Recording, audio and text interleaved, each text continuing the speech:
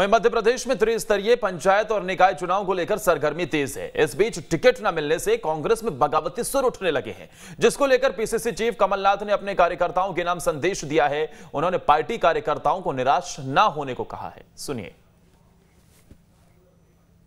साथियों, मैं कमलनाथ बोल रहा हूँ। हमारे प्रदेश में नगरीय निकाय और पंचायत के चुनाव चल रहे हैं। आप सभी अपने अपने शहरों और गाँवों में लगातार जन सेवा करते आ रहे हैं और कुछ साथी चुनाव लड़ने की इच्छा भी रखते हैं।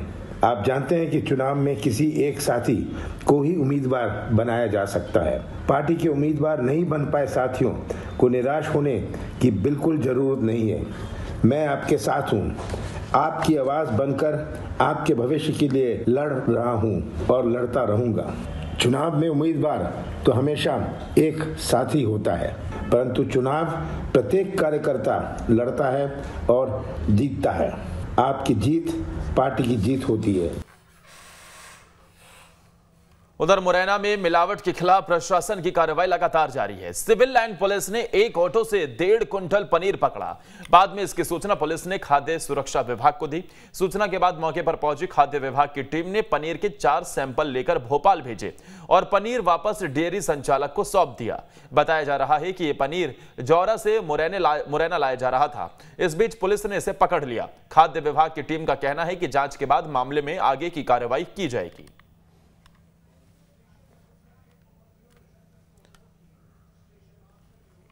वहीं मुंगेली में मरीज़ के परिजनों ने एक डॉक्टर की जमकर पिटाई कर दी। मामला लोरमी के 50 बिस्तर मातृ शिशु अस्पताल का है। डॉक्टर पर आरोप है कि उसने समय पर इलाज नहीं किया, जिसके चलते मरीज़ के परिजन नाराज़ हो गए और डॉक्टर को पीट दिया। पूरे घटनाक्रम का वीडियो भी सामने आया है, जिसमें दो युवक डॉक्टरों को लगातार थप्पड़ मार रहे हैं। वहीं मारपीट से नाराज़ अस्पताल के स्टाफ ने घटना के विरोध में प्रदर्शन शुरू कर दिया। लोरमी के सरकारी अस्पताल में ओपीडी सेवाएँ बंद कर दी गई हैं। डॉक्टर सिर्फ़ इमरजेंसी सेवाएँ बस देख रहे हैं। पूरे मामले में लोरमी थाना पुलिस ने चार युवकों को हिरासत में ले लिया है। पुलिस ने डॉक्टरों की शिकायत पर तो मामला दर्ज कर लिया है। खबर शाजापुर से अब आपको बताते हैं, जहाँ वाहन चुराने वाली गैंग का पुलिस ने खुलासा किया है। मामले की बाइक चुराने वाले आरोपी और खरीदने वाले आरोपी को इस मामले में गिरफ़्तार किया गया है। कार्रवाई के दौरान पुलिस ने पाँच लाख रुपए की आठ बाइक बरामद की है। इससे पहले ऑपरेशन हेलो के तहत पुलिस ने पाँच लाख कीमत के चालीस मोबाइल उनके मालिकों तक पहुँचाए थे। एसपी के चार्ज लेते ही ज़िले के तीन कंजर डेरों में दबिश देकर इक्यावन बाइक समेत अन्य सामान बरामद किए थे, जिसकी कीमत तीस लाख से अधिक थी। इसके साथ ही पुलिस ने अठारह आरोपियों को गिरफ़्तार किया था।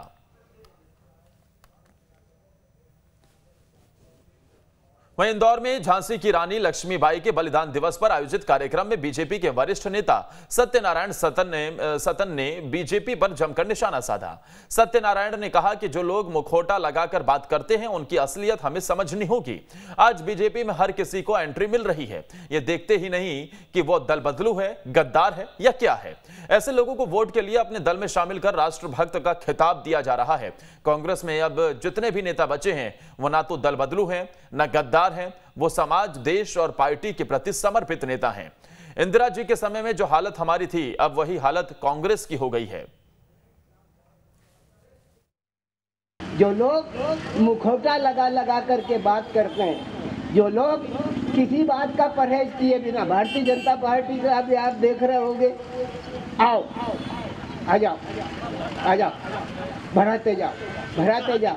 आज मैं एक बात निसंकोच भाव से कह सकता हूँ कि कांग्रेस में जितने भी बच्चे जितने भी बच्चे वो ना तो दल बदलू है, ना गद्दार है।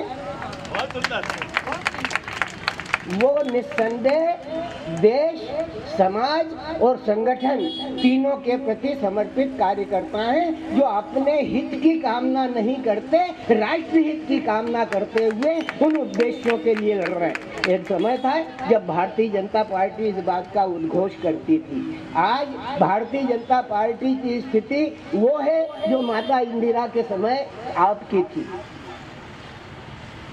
और माता इंदिरा के समय जो स्थिति हमारी थी वो तुम्हारी